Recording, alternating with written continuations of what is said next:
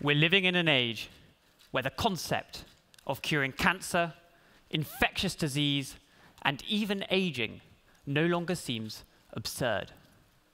We know that there are answers to these problems, we just haven't found them yet. But the question that keeps me awake at night is are we good enough to find those answers? What if our greatest minds are just not good enough? What if collectively the 9.8 million metric tons of human brain on Earth is just not good enough? What I'm going to tell you, well, it's uncomfortable to hear. Human creativity, namely our ability to develop new art, ideas, materials, and therapies, is shackled by the limits of human intelligence.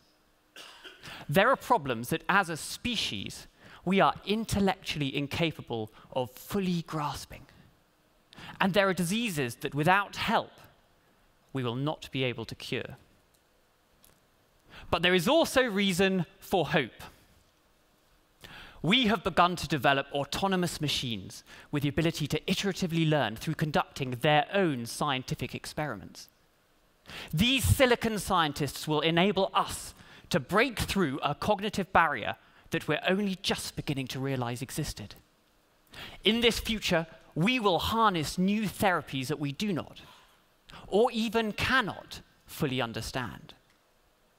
In an age where understanding is our greatest priority, depending so much on machines can feel uncomfortable. Yet I believe that across the breadth of human invention, this is our future. And if we are to cure seemingly incurable diseases, then we will need to redefine our relationship with artificial intelligence with both humility and with hope.